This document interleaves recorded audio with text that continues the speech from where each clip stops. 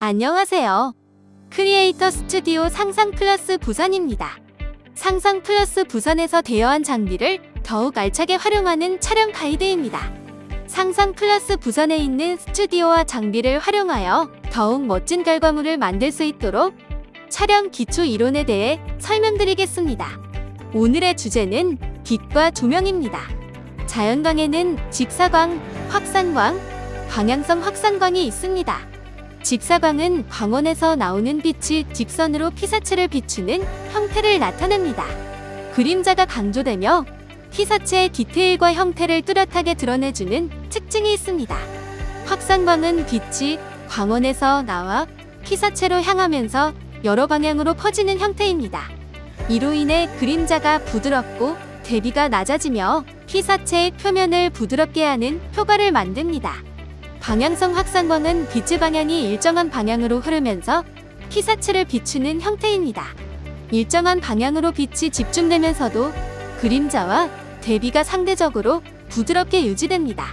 다음으로는 빛의 방향과 효과에 대해 설명드리겠습니다.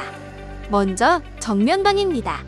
정면광은 피사체의 정면에서 비추는 빛으로 밝고 안부의 표현이 적은 균일한 조명을 제공합니다. 주로 화사한 인물 사진에 사용됩니다.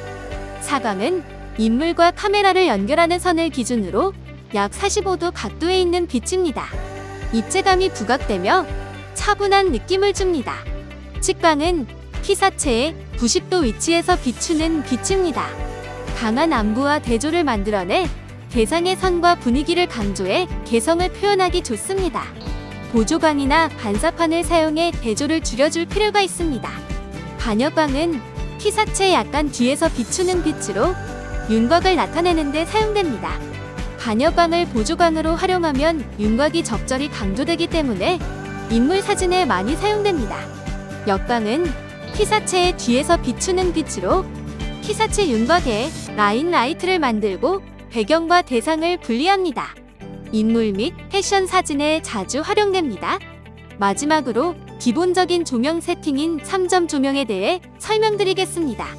3점 조명은 key light, fill light, back light 세 가지 주요 빛을 사용하여 대상을 조명하고 그림자를 조절합니다. Key light는 촬영 대상을 주로 비추는 주요 조명입니다. 대상을 밝게 조명하여 주요 디테일을 부각시키고 입체감을 줍니다. 일반적으로 대상을 촬영하는 방향에서 살짝 옆에서 비춥니다.